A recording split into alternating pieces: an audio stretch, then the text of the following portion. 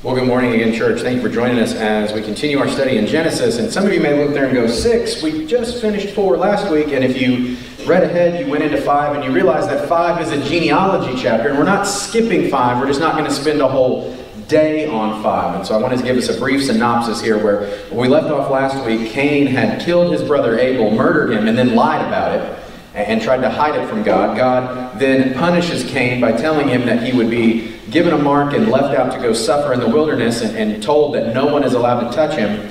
Uh, but right after that, we saw that Adam again had another son, and that son was named Seth. And then the chapter 5 goes into the line of Seth and talks about all of the generations that come from Seth, including uh, one of everybody's favorite biblical characters, right? Methuselah, which without cheating, 996. close. I mean, no, it's 969. Close, but still wrong. 969. I said 969. There it is, 969. There it is, 969 years, uh, which uh, I don't think any of us are rooting for that long. Jeannie, I know what you're trying to come off of. You're trying to add what how old he was when he had his son, which he was 187 years old when he had his first son, but it says that he lived 782 years after that son for a total of 969 years, and a lot of times people will take 969, add it to 187. We have now degraded down to third grade math, in case you were wondering. Uh, if anybody needs extra help, Mr. Perez will be in the back later. So, so we get through these characters that are living hundreds of years, 900, 800, 700 years, and uh, raise your hand. Anybody willing to go back to that? Anybody want to pull out 900 years? Yes, ma'am. I see her back there. Of course, that doesn't seem that long at your age, so uh, for some of our other ones in here, not so much wanting to pull that one off, right? Uh, so we see this, that the line of Seth, this line runs for thousands of years, and there are many offspring that come from it. And eventually we find one after Lamech, and we see his name is Noah. And it says this in chapter 5, verse 29. He named him Noah, saying, This one will bring us relief from the agonizing labor of our hands caused by the ground the Lord has cursed. And so we introduce into Noah. Noah was 500 years old. This is verse 32 of chapter 5. And he fathered Shem, Ham, and Japheth. And so at 500 years, he's got these three boys. And I can't imagine, you know, number one, I can't imagine having kids at 37 after already having my two. I can't imagine having a new one at this point. I can't imagine at 500 having three boys running around and what's going to go with that, not to mention what's going to happen next. And so here's where we start at chapter 6. Says, When mankind began to multiply the earth and the daughters were born to them, the sons of God saw that the daughters of man were beautiful, and they took as they chose wives for themselves. And the Lord said, My spirit will not remain with mankind forever, because they are corrupt. Their days will be limited to 120 years. So that's the first point we see the limit put on age. And so from that point forward, the ages would be limited, but Noah, obviously, we're going to see here, isn't in that yet. So his age will allow to be extended out. It says also, the Nephilim were on the earth both in those days and afterwards, and when the sons of God came to the daughters of man who bore the children, then they were powerful men of old, the famous men. And so what we see here in chapter 6 is sort of the first step of the intermarrying of groups that God has said don't intermarry with, right? We see this happen later when we look at the entrance of the Israelites into the, to the land. When they see them come into the promised land, they're given a few simple rules by God, right? When they come into the promised land. Number one, I'm the Lord your God. You will worship me above anything else. Number two is what? Don't intermarry with the people around you. And it took them about what seems like eight seconds to break rule number two, right? They instantly start intermarrying with the people around them, and it then begins a path downhill as quickly as possible, right? Humanity, if left to our own devices, we will work our way to the bottom as quickly as possible, right? And so we see this is what's happening here. They're intermarrying, as it says here, with the, the sons of God. They're also intermarrying with the Canaanites, those that are from the descendants of Cain. They're intermarrying with people that aren't of God. And so we look at that for our lives. There's a reason scripturally it tells us that as believers we are supposed to be equally yoked to those attached to us. If you were here on Wednesday, we talked about that Jeremiah was given a prophecy to tell the leadership of God to wear the yoke of God. When we think about that word yoke is used multiple times in Scripture, we have to know what a yoke is to begin with. It's a piece of wood or some sort of way that you would attach two animals together so that they could be more effective together than they were separate, or you would attach the yoke to a single animal so that it could do the work necessary, so that you could control and move that animal. Yet we see scripturally in the New Testament where Christ says that my yoke is easy and my burden is light. Because let me tell you something here today, church. You are going to put a yoke on yourself one way or the other. It is either the yoke of God or it's the yoke of the world. Something is going to control you. You've got to choose what it is. And so we see here the world is quickly working its way towards the bottom, and we see more people wearing the yoke of the world than the yoke of God, and they're intermarrying with those that aren't of God. And this is why that's so important, because if we're honest with ourselves, church, most of us, if we're honest with ourselves, can either have been or have seen those that are Christ followers enter into relationship with those that are not Christ followers. And yes, I fully admit there are those in here that could tell you, hey, it worked. The other person got saved. We grow, closer to the Lord. Yes, it is possible. I am not saying that it is not. What I am telling you is, is that the statistics and the numbers tell us it usually goes the other way. The Christ follower will compromise themselves and their faith for the sake of the other person. It will usually go the other direction. And so, what I tell people all the time is would you do something if you knew it had a 90% chance of failure? And more often than not, people say no. Right? If you went to Six Flags today and you walked up to the Iron Rattler and they told you, hey, good news, bad news. Good news is we're going to let the ride run. Bad news, 90% chance the roller coaster destroys itself on the first hill. Anybody getting on? Don't think so. Yet, when we look at the numbers, and it shows us that around 90% of relationships that are unequally yoked don't lead to someone knowing the Lord, people still line up for it. Because we want to lower the standard. We want to work our way to the bottom in our humanity. And so we see that's what's happening here. Verse 5 picks up When the Lord saw that man's wickedness was widespread on the earth, and that every scheme in his mind thought of was nothing but evil all the time. So pause there for a minute. It's not like here where people would say, oh, well, God's just punishing the good with the bad. No, it says here that God waited until what? Every scheme of man was evil all the time. So this goes back. We think other places we've seen this in Scripture where God's casting judgment on a city or a people group. What does He wait for? He waits for all of them. Right? You look at Sodom and Gomorrah. Right? When Sodom and Gomorrah was told they were going to be judged, he called the two. He said, he called, he said, leave, leave. He called the one, leave. He gathered his family, began to leave, and they said, But wait, God, if we could just find some more, would you spare the city? God says, Yeah, if you can find a group, I'll spare the city. And they went and couldn't find a group. So what do they begin to do? They begin to work their number down. And eventually they come back to God and they say, If we can just find one more righteous person in the city, will you spare the city? And God says, Absolutely. You find one more righteous I'll spare the city. And how does the story end? They and their families leave the city as it's being destroyed because there was not one more righteous. God waits and he waits until he cannot wait anymore. Right here, he waited until every scheme in the mind of man was nothing but evil all the time. The Lord regretted that he had made man on the earth and was grieved in his heart. His heart is broken. His heart is hurting. Verse 7 Then the Lord said, I will wipe off the face of the earth man whom I created together with the animals, creatures that crawl, and birds of the sky, for I regret that I made them. Noah, however, found favor in the eyes of the Lord. So God here, regretting what he has done, is ready to wipe him off, yet he sees Noah and says, You're telling me there's a chance. Right? For the movie fans out there, right? So you're telling me there's a chance.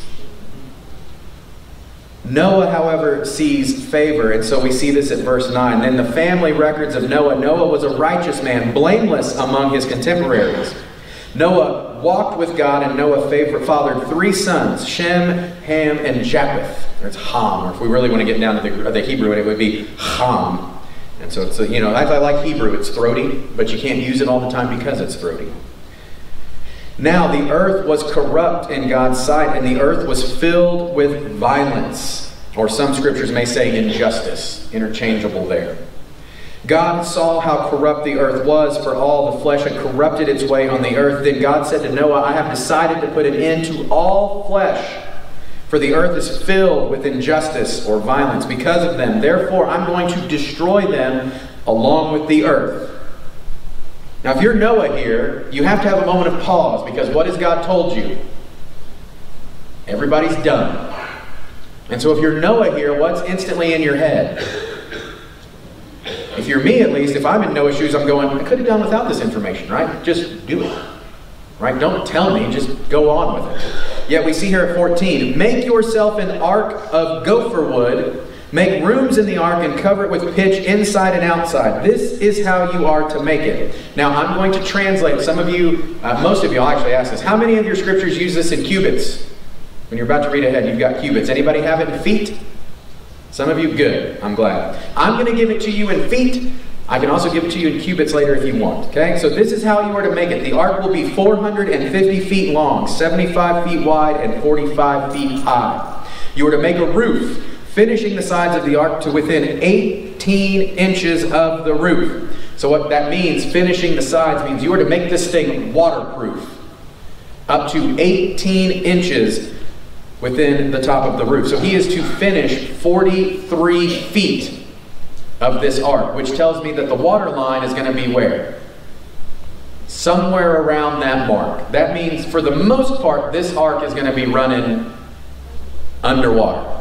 Right? So unfortunately, sometimes when we see the pictures of the ark, we have the picture of the water sort of being calm and this boat sitting on top of the water and everything looks, you know, happy-go-lucky. Uh, no, what we see here is if we're asking to finish this thing to the 18 inches below the roof line, chances are this thing's going to be running low in the water. And when we realize what's being loaded into it, we would understand why it's going to run low in the water. And so then we see this. You're to finish the roof, make it with a, you are to put a door in the side of the ark, make it with a lower, middle, and upper deck. And so this is to be a three-decked system. As best we can tell, there might have been different things or different rooms inside of those. Obviously, there were, uh, but that's what we see. So he's given these instructions to do this, to build this ark, 45 feet long, 75 feet wide, 45 feet high, to do all of these things. If you're Noah here, again, there's the old Bill Cosby skit that talks about this, but it also really does sort of seem true. You have to imagine Noah sitting here going, okay, how? Right? What do I do? I build this ark. This is what it's supposed to be out of gopher wood. Okay, what is this going to look like? God answers that question with this Understand that I am bringing a deluge, flood waters on the earth to destroy all the flesh under heaven with the breath of life in it. Everything on the earth will die. Notice the one bit of information God has not yet offered to Noah. Has anybody caught that yet? What is the one thing God has not yet offered to Noah? When? When is this coming? Imagine if you're told, build this ark because I'm going to flood the earth. When? Well, if we study Scripture and we think about this, what could we imagine the answer is? Probably right around the time Noah is going to be finished building the ark. If Noah stays faithful and does what he's supposed to do, that's when the flood's going to come. If Noah isn't faithful and doesn't do what God's calling him to do, it's going to come a lot sooner. You think about that for our lives. There are things God will hold off on allowing you to go through until the time is right. That does not mean you are not going to go through them. What it means is that God will wait until you are ready. But you're still going to have to go through it. As we talked about in Sunday school this morning, we were talking about Daniel. And what's one of the things, you know, we talk about the life of Daniel and what he endured. He endured the lion's den. He survived the lion's den, but what did he still have to do? He had to walk into a lion's den with lions that had been starved and were hungry. God saved him from that, but he still had to walk in. God's telling Noah, I'm going to take care of you if you build this ark, but I'm still going to flood the earth. 18. But I will establish my covenant with you, and you will enter the ark with your sons, your wife, and your sons' wives.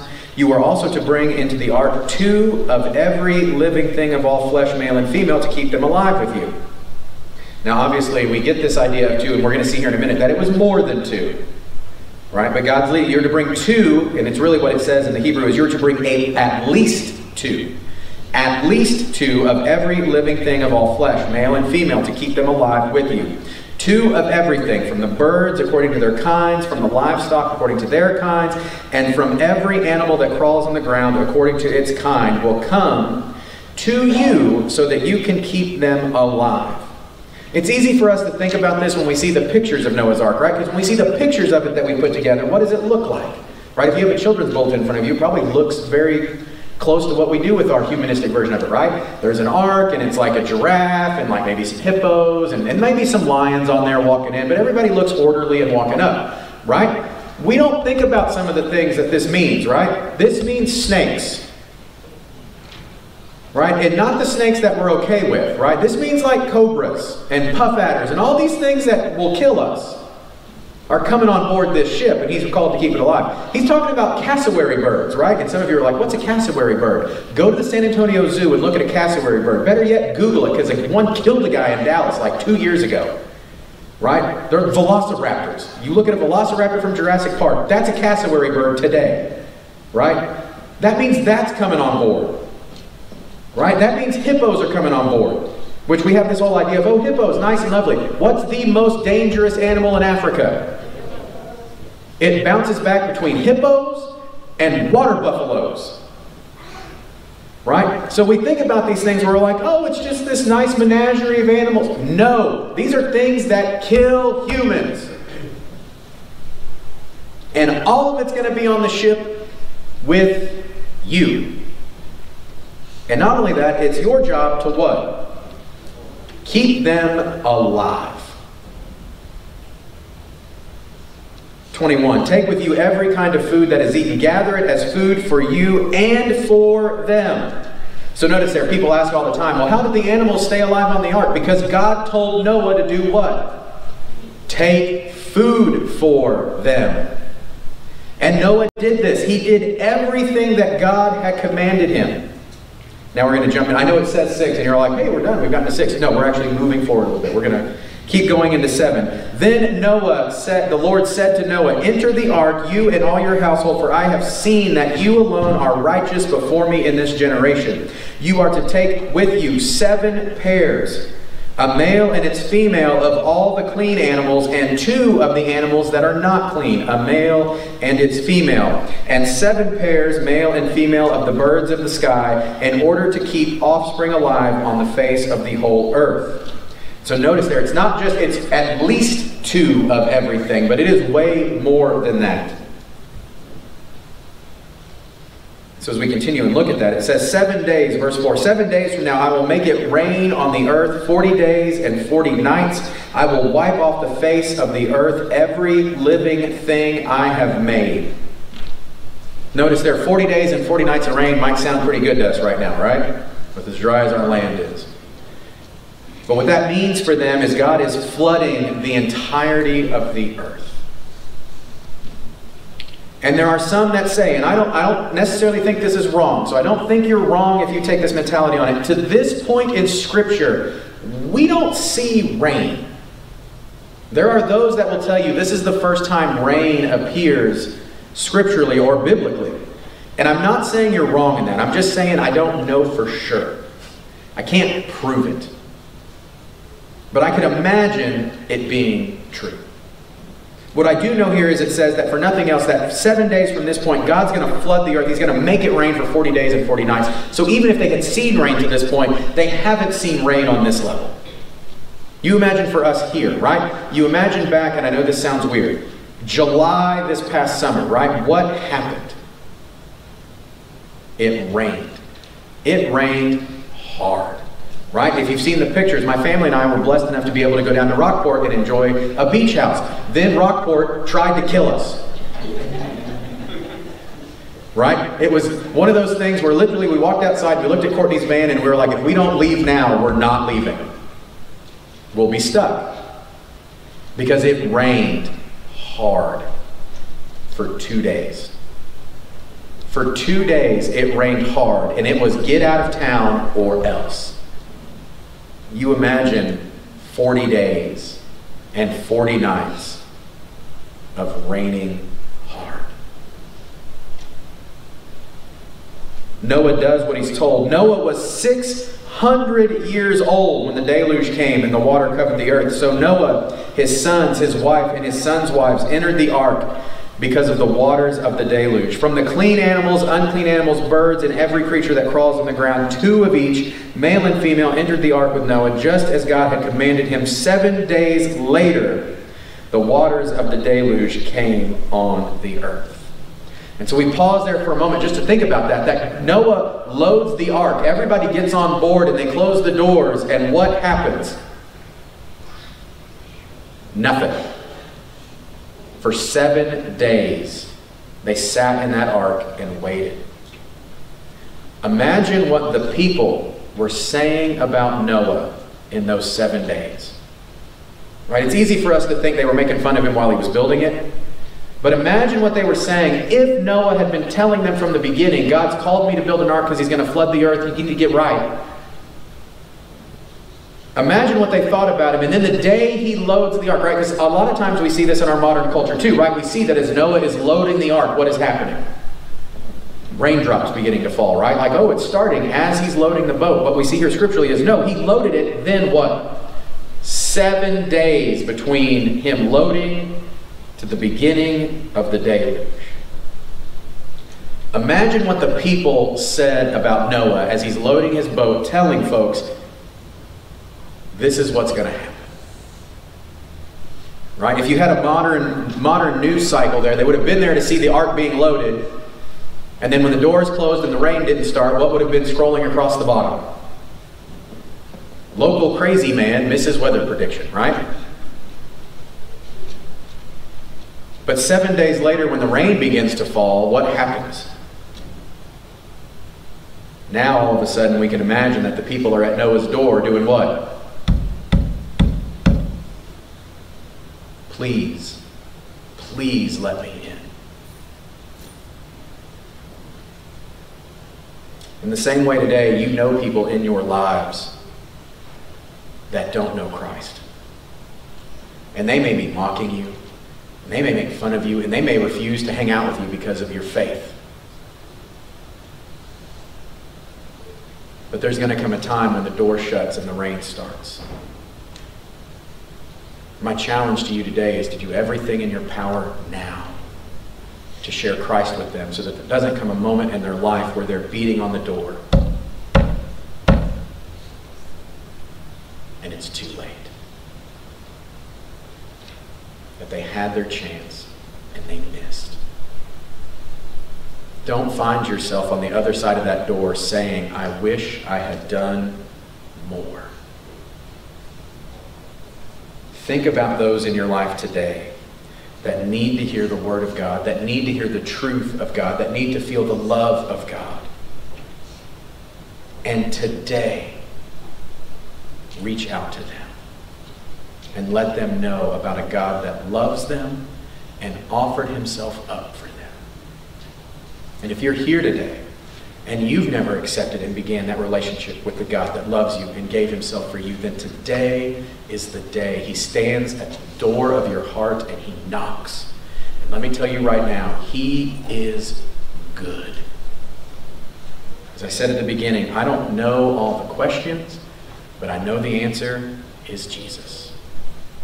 And if you're here today and you're struggling and you've got questions, I would love to tell you about the answer. In a few moments, come and let's chat and let's pray and let's begin that relationship. If you're here today and you've accepted Christ, but God's calling you into relationship with your church, or this church, come and join us. Whatever it is God's laid upon you, He's knocking. It's time for us to answer the door. Let us pray. God, we thank you for today. We thank you for the opportunity to study your word. We thank you that you stand at the door and knock. God, I pray that those that are here that have not yet answered the door would answer, would accept you as Lord and Savior, would begin that relationship, would admit sinfulness, and accept the gift you offer. God, for those that you're calling into relationship with our church, we thank you for that. God, we say very clearly that whether you're a member on paper or not, if you're here, you're part of the family and we love you. God, if you're calling somebody to make it official, to put it down on paper, to join in, in relationship with this church, then God, we thank you for that as well. God, for all the hearts, all the situations going on in this room, God, I don't know, like I said, I don't know all the questions, I don't know all the concerns, but I know you are the answer. So I pray that we would seek you because you alone are good. It's in your name we pray. Amen. If you'll stand with us, church.